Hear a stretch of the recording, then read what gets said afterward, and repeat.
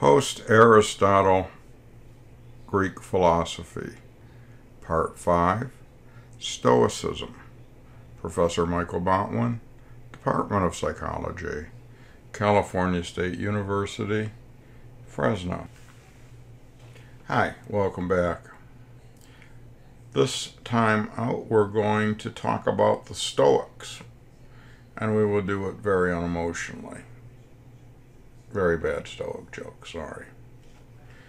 Now, the Stoics were founded by someone we've talked about before, Zeno, and you might remember him for his paradox. Now, the Stoics believed the world was ruled by a divine plan. And everyone and everything was in that divine plan. You had absolutely no ability to change that divine plan. Hence, the best thing for you to do was to accept your place in the world and be the best at that spot as you possibly can be. So there's a Stoic system, no social mobility. Uh, if you are born a slave, you're destined to be a slave for your entire life. And you should just be the best slave that you can be. By the same token, you don't have the choice to have been born emperor of Rome. And if you were born emperor of Rome, you should accept that position and be the best emperor you possibly can be. Now you can imagine the Romans with their reliance on bureaucracy and their rigid caste systems of how the world worked love Stoicism. Uh, at one point in time, there were significantly more slaves in Rome than Romans. And if you take this into consideration, if everybody is happy in their spot, you don't get a slave rebellion.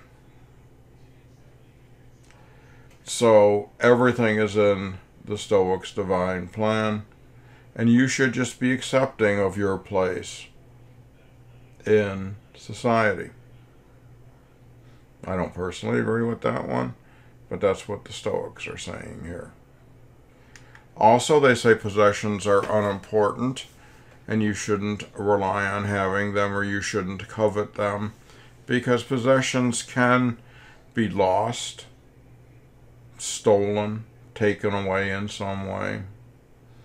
And if a possession represents a large part of your personal identity and it's gone, well, you have a big hole there. So, what did the Stoics really value? It was virtue.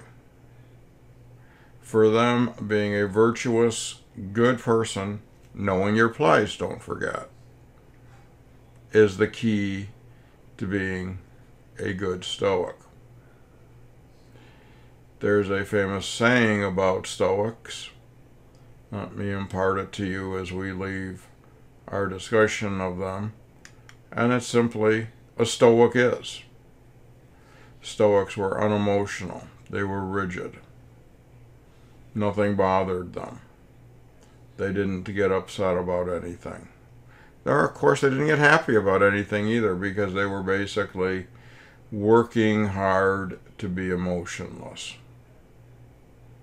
Yes, if you want to make the Mr. Spock analogy, you can go for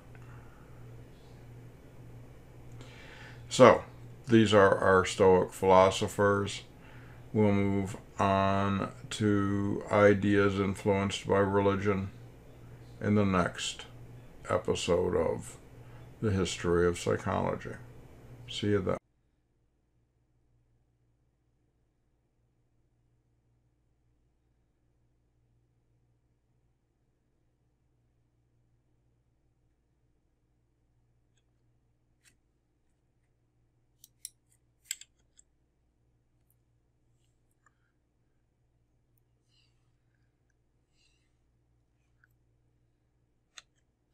This has been a We Have Couches video production. Copyright 2020.